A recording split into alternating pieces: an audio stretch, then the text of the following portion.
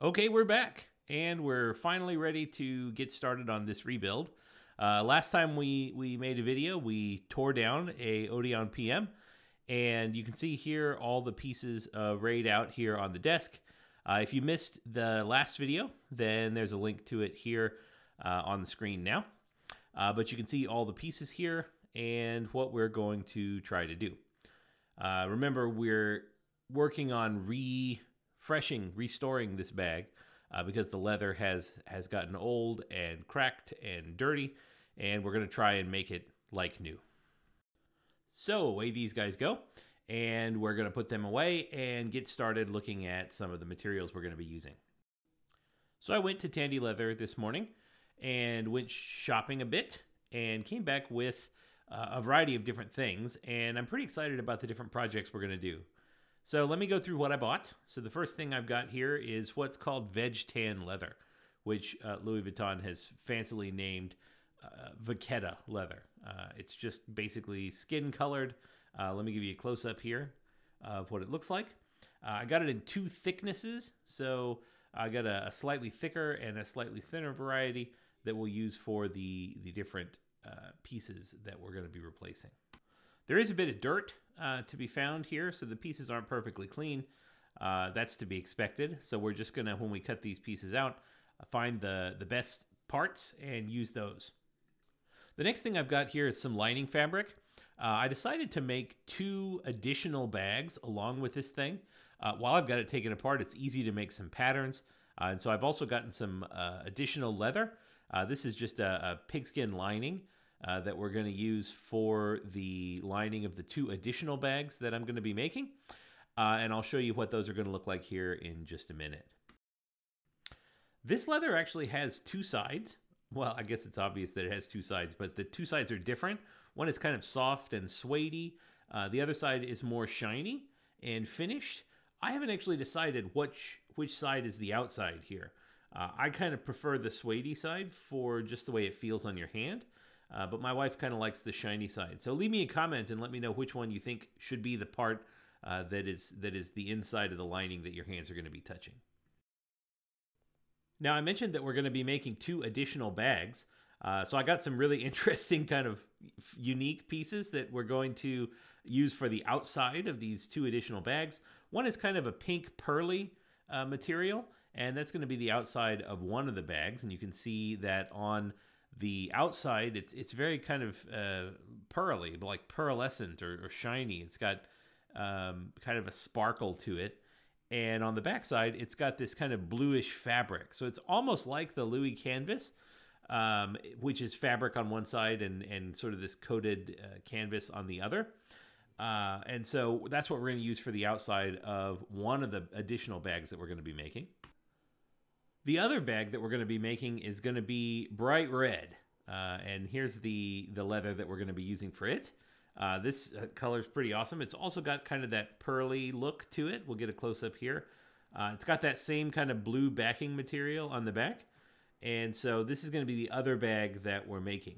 Now, my plan is to finish these two bags and then actually give them away uh, to somebody who has uh, liked, commented, subscribed, uh, on the channel. So do uh, like and subscribe and leave a comment if you want to be uh, considered for uh, the contest here. I'm actually going to give these two bags away, uh, the pink one and the red one, to some lucky viewers. Okay, so getting started here, the first thing I wanted to do was make sure I had a good pattern for all of the different pieces. Uh, and so what I'm what I'm doing here is I've taken some just some some cheap eighth inch plywood uh, that I had laying around, and I'm just going to outline the the different pieces of canvas and leather that I need to recreate, uh, so that I can do it in a repeatable way. Now I tried to kind of tape this thing down, but uh, this didn't end up working. Um, you know, there's just too much dust on it, so. Uh, I, you know, that was a bust. I just had to hold it in place and draw around it. And so that's what you can see me doing here. And then I just wanted to darken the lines. So once I had it drawn in pencil, I went around it with uh, a Sharpie type marker and just thicken those lines up. Now, the one thing that I'm being really careful to do here is to stay on the outside of that line. So one of the secrets to creating really, really accurate patterns uh, is to make sure that you know which side of that line you're going to cut on. Uh, it turns out that that marker makes about a line that's about an eighth inch thick. And so if you're not careful to stay on the correct side of that line, then the patterns are going to be really sloppy and really inaccurate. And so I'm drawing around, making sure that the line is staying on the outside of that pencil mark. And then when I cut things out, I'm just going to cut away the line and leave uh, only the wood without any of the line showing. And that's how I'll know that I've got an exact fit with my pattern. Now, obviously, for the, the bag that I'm restoring for my wife's Louis bag, uh, I'm not actually going to need these patterns, right? So, so these parts will be reused for, for that particular project. Uh, and I'm just going to be replacing the leather. Uh, but for the two additional bags, for the pink bag and the red bag that I'll be giving away, I'm going to need to have patterns for the, the canvas. So uh, that's what I'm doing this for. Uh, now you can see me cutting out the leather pieces. Uh, it turns out that the the thin strip that goes across the top of the bags is uh, a bit of a, a, pain. I'm gonna have to redo that piece because I didn't get it of, of kind of equal thickness, and it turned out to be sort of a mess. Uh, I only had to make one pattern for each of the the side pieces because they're exactly the same, and so uh, that uh, is pretty straightforward there. Now, the bottom piece on the purse, I didn't have a piece of uh, plywood long enough. So I did have a sheet of this kind of clear acrylic stuff uh, that I was going to be using. And so uh, I went ahead and used that. I made some picture frames a while back, and I used the, that acrylic for the, the front glass. So uh, I ended up using one of those to, to get this pattern. So this pattern looks a little bit different, but I make it in exactly the same way.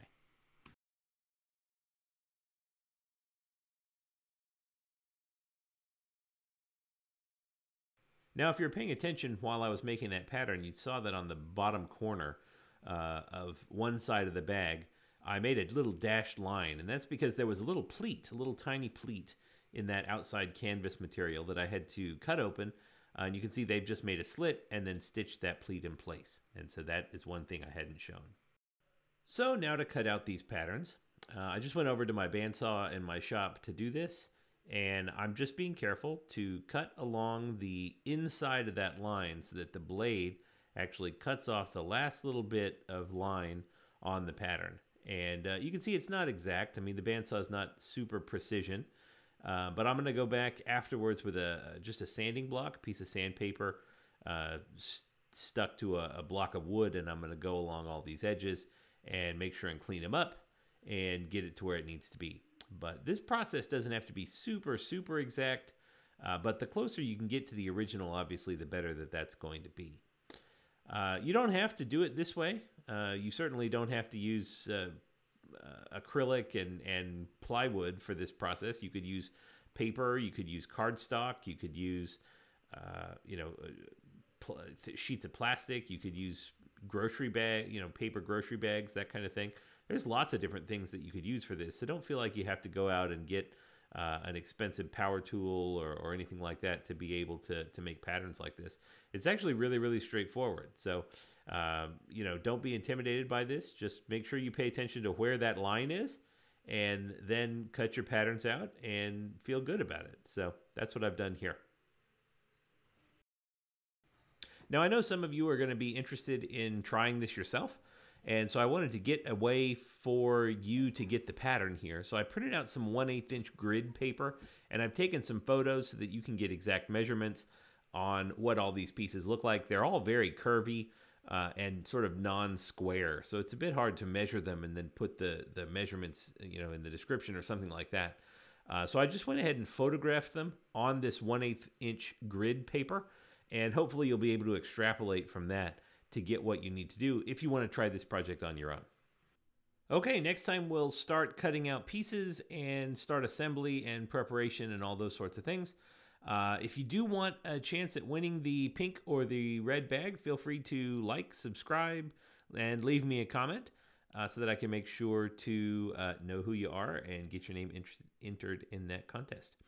Um, I'm putting links to the previous videos in this series. Uh, in the on the screen now, so feel free to click those and go have a look if you want to get caught up. Thanks.